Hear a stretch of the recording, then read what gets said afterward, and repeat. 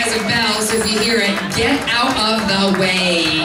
He is crazy on that scooter. Timo Secchi, he's another one of our marketing geniuses, and uh, without him and Jeff Farrell and our team, we wouldn't be able to have a successful uh, competition like this. So thank you, everybody, and now we're going to get down to the uh, the winnings, and you guys all did. I hear the bell. There's the bell.